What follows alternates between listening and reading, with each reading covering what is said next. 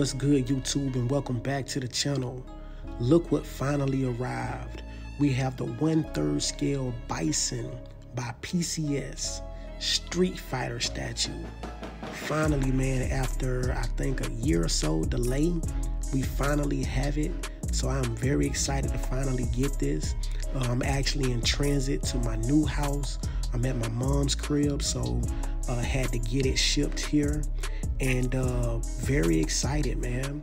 Now we take a look here at the art box. It is very impressive, very vibrant. Uh, this is the Street Fighter 5 version, uh, which is limited to 125. Uh, it just has that burgundy red. Very nice. Uh, we do have some switch out features and everything we'll take a look at. Uh, but looking real good so far. Very nice art print on the box. So let's go ahead and open it up and take a look. All right, man, so here we are uh, with the lid off. Uh, everything is looking good, packaged very nice. Nothing looks like it's broken. Uh, so uh, hopefully that's the case. Nothing is broken.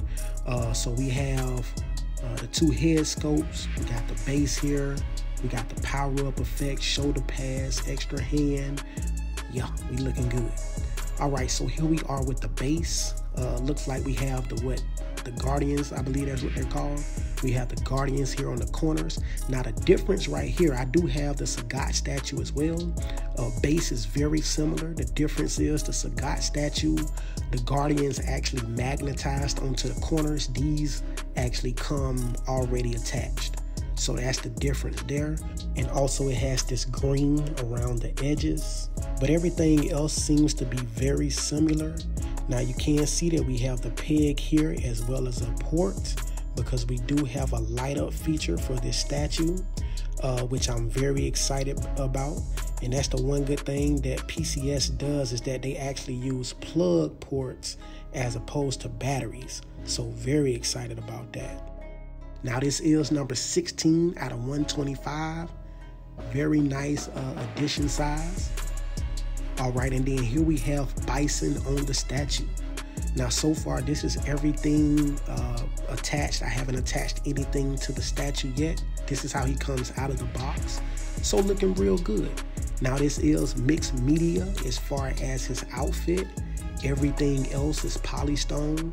So looking real nice, man. From the belt, the boots, uh, his um, his shin guards, wrists, everything else is uh, poly uh, polystone. So I'm really loving that, man. Now I'm not really a fan of mixed media, but when it's done right, you know, I I'm with it, and uh, and they seem to have done this correctly. So I'm really loving it.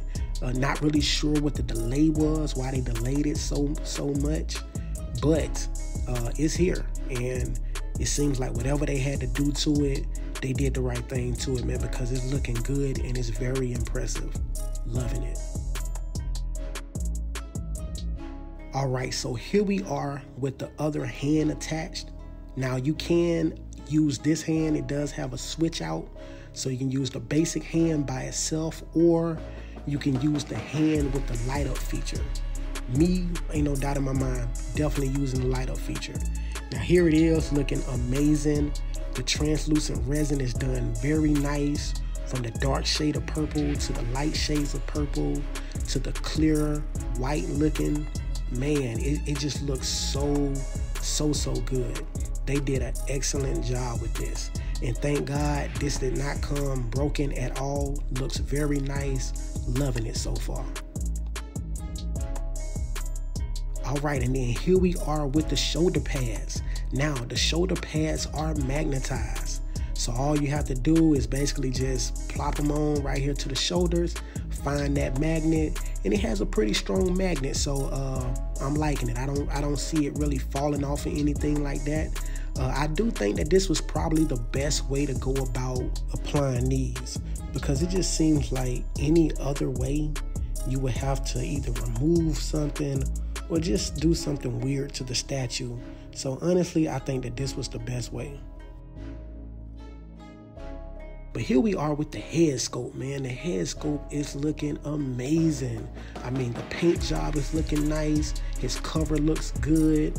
His hair looks good. The textures. Uh, you see right here we got the port where we're gonna plug it in uh, to get that the eyes to light up, and it looking real good, man. Got the booty chin going, yeah, very nice, man. Strong jawline. Now the thing about this is you do have to take off the shoulder pads in order to put the head sculpt on.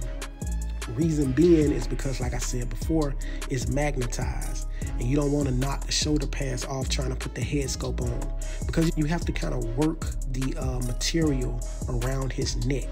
So you don't want to take the chance and uh, and mess up and knock those shoulder pads off. But I'm loving it, man. It's looking real good uh, so far. Everything is uh, spot on. Loving it. Now let's go ahead and check out the light up feature. All right, man. Now here we are with the eyes lit up, the power up lit up. Everything is looking good, man. Eyes look amazing. This is so impressive, man. So impressive. I'm loving this, man. The, the, light up feature definitely makes a difference. Now, the statue looks good by itself. It really does. Uh, we cut the lights off here. Uh, my mom has a lot of light that comes through her window, so don't make a huge difference, but you can see it a little bit, a little better. But it looks real good, man, with the light up feature. Man, this is nice. Yeah, this is very impressive, man. I'm, I'm loving this, man. Now let's go ahead and take a look at the other head sculpt. Now here we are with the grinning smile. Looks real good. The textures, everything else is there. Everything else is looking nice. Man, it looks so good. Man, it looks so good. I don't know which which head sculpt I'm gonna use. Um, I guess it kind of depends on how I, how I pair them with Sagat. Uh, but man, they, they just look so nice. Let's go ahead and check this out.